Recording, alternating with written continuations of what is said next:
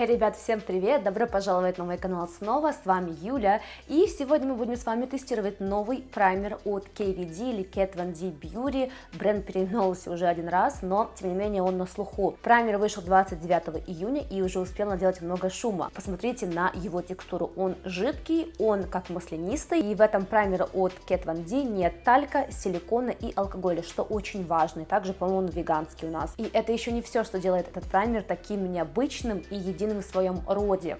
Мы сегодня будем с вами тестировать этот праймер на наших веках. Я буду использовать две разные палетки. Первая палетка это палетка от Наташи Диноны, ее бронзовая палетка с потрясающими бронзовыми оттенками с этой палетки. На другой же глаз мы нанесем палетку от Мэдди Зиглер. Нам будут интересны именно яркие оттенки, потому как нам интересно, как будет смотреться и вести себя праймер с бронзовыми и с очень сильно яркими оттенками. И сама жидкость, которая в упаковке, она очень интересно выглядит, скажем так. Как я уже сказала, нужно это все потрясти, тогда он уже будет работать. Праймер, кстати говоря, сделан в Италии, здесь у нас 5 мл продукта ничем не пахнет. И чтобы получить нам продукт, здесь есть такая пимпочка, на дне вы нажимаете ее и получаете сам продукт. Так. У, он очень жидкий и, как вы видите, он имеет такой угольный цвет. Когда вы растираете его в руках или а, на веках, он приобретает уже обычный прозрачный цвет. И давайте нанесем его на наши веки.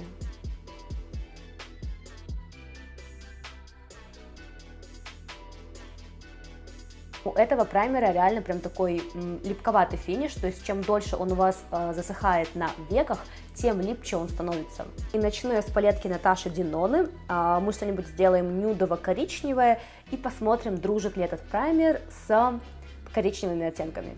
И начну я с оттенка Sun Tan. Идеальный такой оттенок для того, чтобы сделать растушевку. Он конкретно чувствуется липким.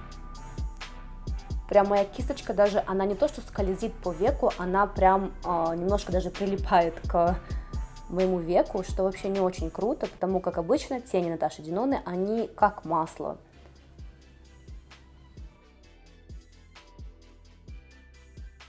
Дальше мы нанесем оттенок Sundown, такой легкий нюдовый оттенок, который идеален для именно зоны уголка глаз.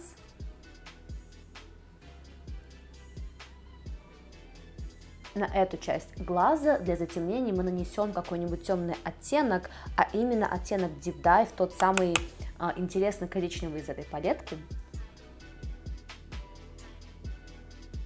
Вау. Пигментация просто огонь. На самом деле сам этот оттенок, он очень сложный с ним работать, он очень капризный, потому как он может очень сильно пятнить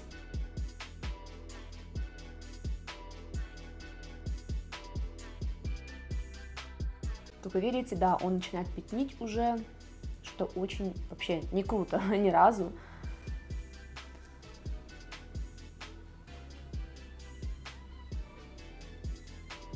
И разбавлю я все это оттенком магма, той же самой кисточкой.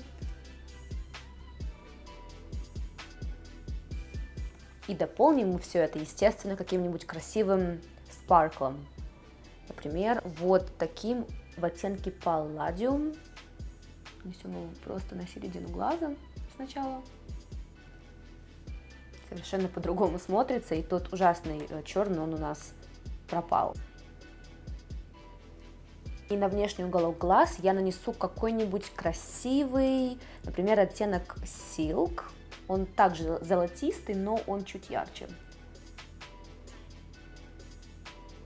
Ну что, вот так выглядит наш макияж с использованием палетки от Наташи Диноны Bronze Palette. Я использовала как матовые, так и э, спарклы. Я считаю, результат получился очень даже неплох. Это все даже выглядит гораздо более ярко, чем если бы без подложки вообще.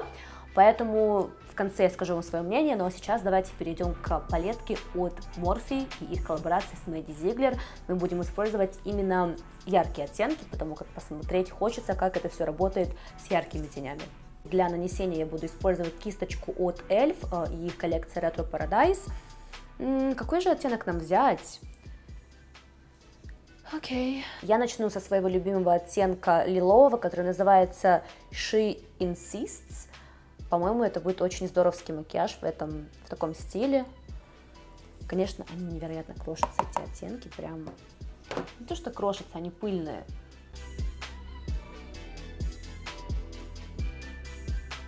Окей. Очень даже хорошо идет. Посмотрите, как оттенок гораздо лучше э, выделяется, то есть он определенно стал гораздо более-более ярким, э, то есть он стал гораздо глубже, вот правильное описание. И теперь я хочу взять этот красивый красный оттенок, который у нас с небольшими блестками, называется он Crushed.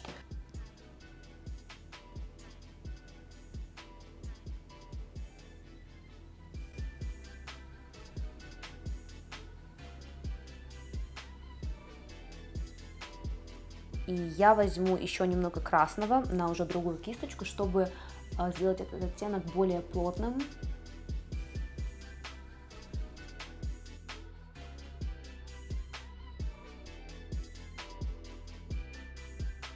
Я не могу сказать, что растушевка прямо-таки идеальна у этих оттенков. Не могу сказать, что праймер, он прям 100% решил эту проблему. А, но цветопередача, она хороша, и нанесение этого оттенка ничего мне такого хорошего не дало, наоборот, он э, сделал более какой-то грязный финиш на этой площади глаза, и я хочу нанести оттенок, который называется Go Home, такой потрясающий бордовый оттенок,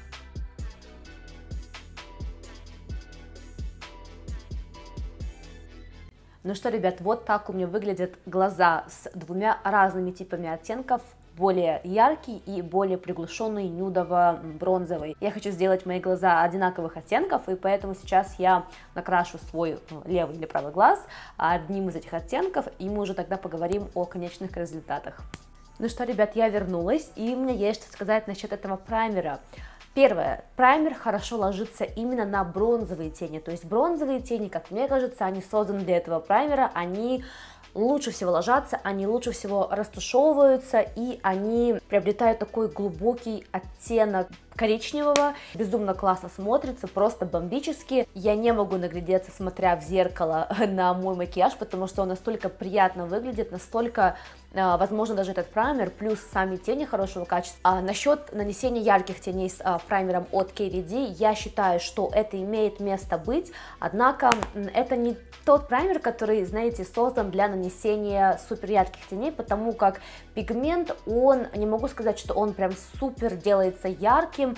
Да, он есть, однако тени залипают и тени не выглядят так дорого, как если вы бы использовали какой-нибудь абсолютно другой праймер, как, например, от POE или от uh, Urban Decay, который я всегда использую. Этот праймер идеален для нанесения именно бронза, потому что он делает оттенок более глубоким и более все это красиво выглядит. Текстура этого праймера, она очень удачна, она прозрачная и она не дает никакого вам дополнительного ненужного пигмента, если вы, допустим, не хотите Э, чтобы у вас был белый пигмент от обычного праймера. Этот праймер никак не закроет ваши сосудики на веках, нет, он очень мягкий, легкого действия и он липкий. Нанося его на ваши веки, будьте готовы тому, что он, когда и высохнет, вы все равно будете ощущать эту липкость, даже нанося какие-либо тени, неважно это яркие или обычные какие-нибудь нюдовые оттенки, а, он липнет даже к кисточке. Не то, что он липнет и прилипает как клей, нет. Просто есть это ощущение липкости, и эта липкость может мешать растушевке, как мне кажется, потому как э, обычный праймер кремовой текстуры, он помогает вашей кисточке скользить как бы по веку. Этот же праймер, он, как мне показалось, препятствует. Сможете ли вы жить без этого праймера? Возможно, да. На рынке столько много интересных праймеров, гораздо лучше будут помогать вам в растушевке, в распределении теней и так далее. Однако упаковка, должна сказать, она просто потрясающая, очень все это приятно трогать, гладить и вообще смотреть на это, поэтому с упаковкой проблем здесь нет. И надеюсь, вам понравилось это видео, ребят. Не забывайте подписываться, если еще не подписаны, а также ставить лайки. Это очень помогает продвижению канала. Ну, а я с вами не прощаюсь, ребят. Еще увидимся. Всем пока.